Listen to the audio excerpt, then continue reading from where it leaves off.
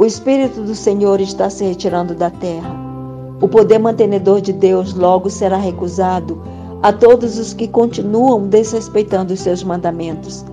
Os relatos de transações fraudulentas, homicídios e crimes de toda espécie chegam até nós diariamente. A iniquidade está se tornando uma coisa tão comum que não ofende mais as suscetibilidades como em tempos passados.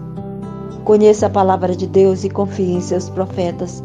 Em 2 Crônicas, no capítulo 20, no verso 20, diz assim: Ouvi-me, ó Judá, e vós, moradores de Jerusalém.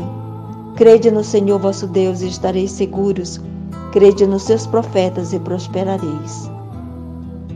Inscreva-se, compartilhe os vídeos, ajude o canal a crescer e torne-se também um missionário da Palavra de Deus e que as bênçãos do Senhor estejam sobre você, sua família e sua casa. Em nome de Jesus, amém.